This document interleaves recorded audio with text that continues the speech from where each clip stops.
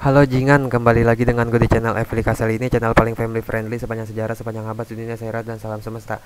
Di kesempatan kali ini gue akan share tutorial cara reset Oppo A5s dengan tipe CPH 1912 atau CPH 1909 itu sama-sama Oppo A5s yang mengalami kendala terkunci seperti lupa pola, lupa pin, lupa password dan lain-lain. Bisa diperbaiki dengan cara di reset menggunakan MRT crack alias tanpa dongle alias free alias gratis ya. Kalau di Evil Castle itu tutorialnya gratis lah udah pasti work.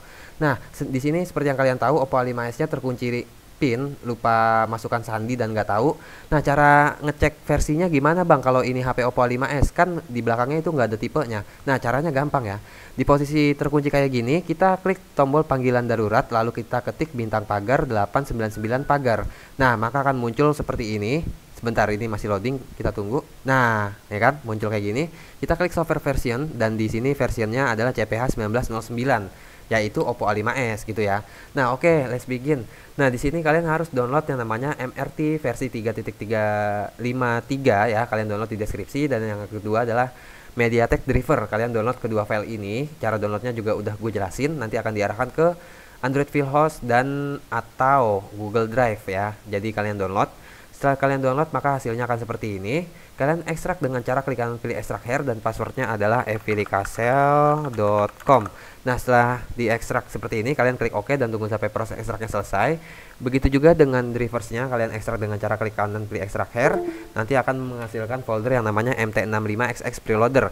Selanjutnya kita install drivers-nya Nah ini dia drivers-nya install drivers Klik kanan lalu pilih run as administrator dan tunggu sampai terbuka Nanti akan muncul tulisan notifikasi successfully Kalian klik aja exit itu artinya driversnya udah sukses terinstall kalian install berkali-kali juga nggak masalah ya nah selanjutnya kita kita buka folder yang namanya MRTV 3.53 Nah, selanjutnya kita jalankan loadernya. Jadi di sini ada file yang namanya loader MRT 3.53. Kita klik kanan lalu pilih run as administrator, klik yes dan tunggu sampai terbuka. Oh ya, pastikan antivirus pada Windows kalian atau Windows Defendernya itu udah nonaktif atau udah mati ya atau udah disable. Jadi jangan ada antivirus yang aktif gitu, oke? Okay? Nah, kalau misalkan muncul notifikasi access violation, kalian klik aja OK atau kita klik close kita abaikan aja nanti akan terbuka MRT seperti ini lalu kita klik pada bagian Oppo pada bagian modelnya kita klik tanda panah ke bawah lalu pilih A5s selanjutnya pada bagian bawahnya atau operation option kita centang pada bagian format unlock seperti ini. Selanjutnya kita klik tombol start pada MRT maka akan muncul searching mobile comport kita beralih ke HP A5s nya nah di sini HP A5s nya kita matikan daya kita tekan tombol power yang lama. Nah kita tekan tombol power yang lama lalu kita geser ke bawah untuk mematikan daya. Kita tunggu sampai HP Oppo A5s-nya benar-benar mati. Oke, selanjutnya setelah benar-benar mati seperti ini, kita tekan dan tahan tombol volume up dan volume down. Jadi tekan dan tahan tombol volume up dan volume down sambil kita colok kabel USB. Kalau misalkan driversnya udah sukses terinstall, maka akan terbaca MediaTek USB port di di MRT-nya juga akan berjalan. Kita tunggu. HP Oppo A5s-nya akan masuk ke meta mode kita tunggu sampai prosesnya berjalan lagi. Nah di sini gagal mulu. Anjing heran gue di sini gagal mulu asli. Di sini gue udah nyoba berkali-kali dan gagalnya itu udah masuk meta mode tapi MRT-nya stop gitu. Stop prosesnya berhenti kan anjing. Oke nggak apa-apa kalau misalkan kayak gini kita ulang lagi aja kita ulang lagi aja. Kenapa gagal mulu? Gue juga bingung.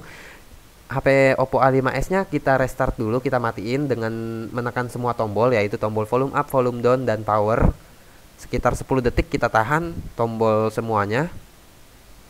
Sampai HP Oppo A5s nya mati seperti ini kita ulang lagi aja. Kita klik tombol start pada MRT nya kita tekan dan tahan tombol volume up dan volume down secara bersamaan sambil kita colok kabel USB pokoknya kalau misalkan gagal kalian ulang prosesnya ulang kayak tadi ya. Jadi restart HP nya setelah HP nya mati tekan volume up volume down sambil colok kabel USB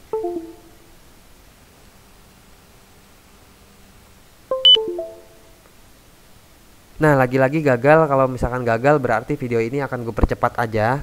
Pokoknya kita coba ulang terus aja prosesnya, dan video ini akan gue percepat. A few moments later.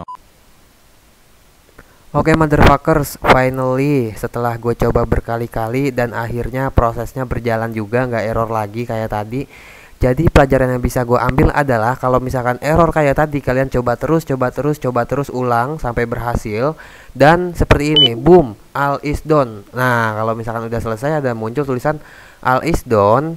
dan HP Oppo A5s nya udah bisa kita nyalain oke ini MRT nya kita close aja kita nyalain HP Oppo A5s nya dengan menekan tombol power yang agak sedikit lama ya sekitar 10 detik ya atau 5 detik sampai terasa getar atau kita bisa lepas dulu USB nya tadi nggak nyala ya kita lepas dulu USB nya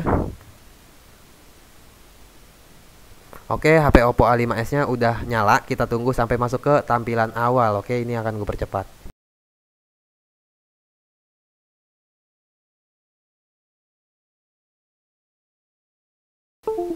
Oke, motherfuckers, finally di sini HP Oppo-nya udah masuk ke tampilan setup.